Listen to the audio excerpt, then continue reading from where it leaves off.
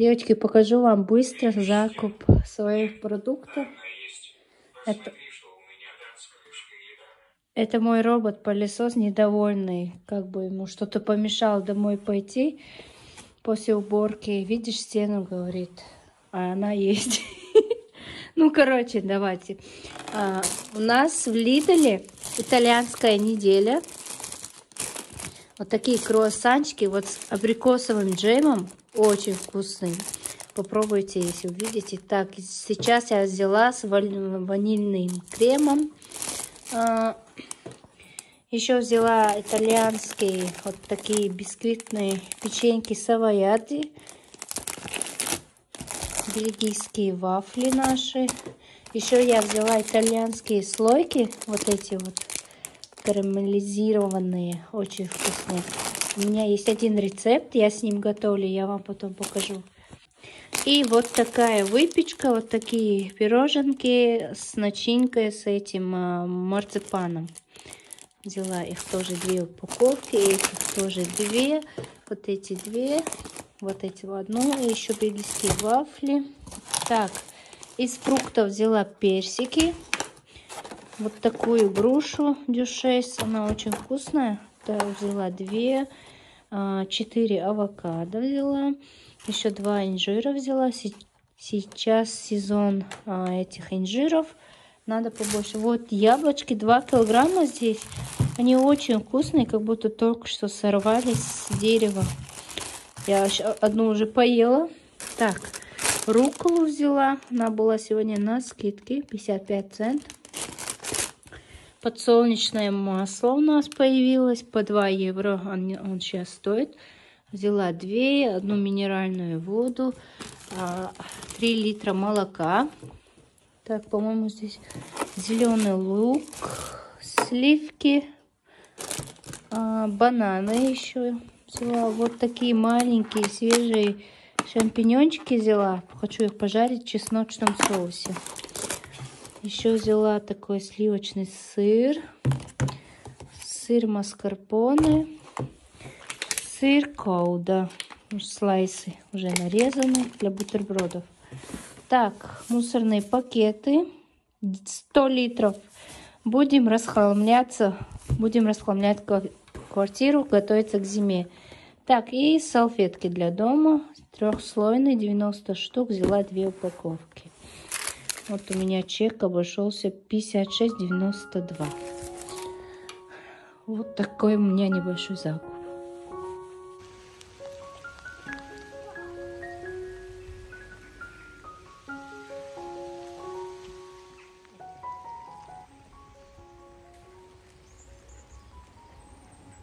Девочки, всем привет! Вышла немножко в парк, прогулялась. У нас был дождь, сейчас он прекратился.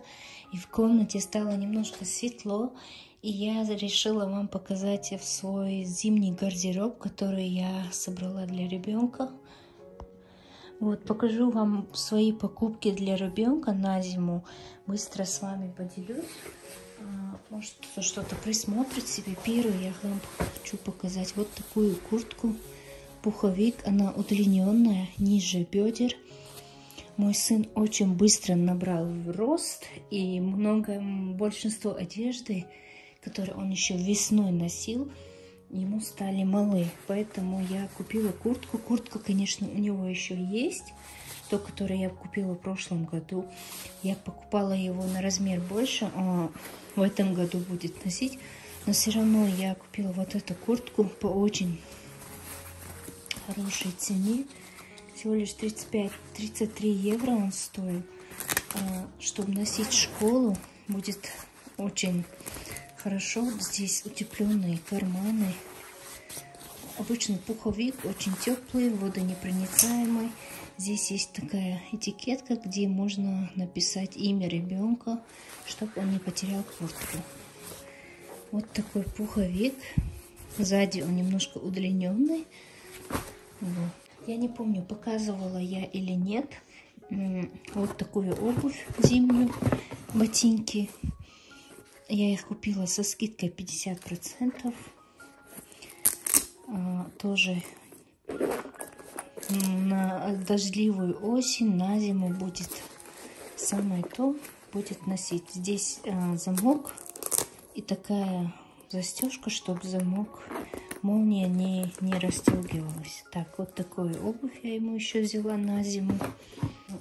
Вот такую кофточку вязаную.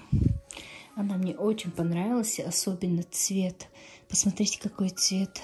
Какая она мягкая, нежная, не колется. Плюс здесь есть карман большой. Школу носить будет очень удобно ребенку. Здесь шерсть и хлопок в составе. Как вы знаете, я люблю натуральный э, состав материалов в одежде больше. Поэтому стараюсь побольше выбирать а, более натуральные материалы и более однотонную одежду. Даже для ребенка я люблю выбирать однотонную одежду. Так, вот такая толстовка, еще такой глубоко голубого цвета. Очень мне он понравился. Такой легкий начес здесь. Под куртку, под пуховик зимой носить. Будет тепло. У нас не так уж холодная зима бывает. Максимум минус 3 градусов 5. Это максимум.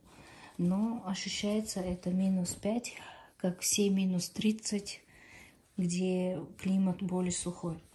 Так вот, в каждом одежде есть такая этикетка, где можно написать имя ребенка. Здесь более такой, а, более такой ощущаемый начес, более такая утепленная, тоже толстовка, такой зеленый цвет, хаки, хаки он называется, болотный цвет. Очень люблю этот цвет. Такой спортивный набор.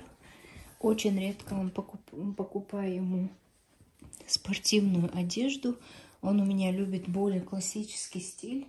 Но вот такие спортивные костюмы, чтобы он надел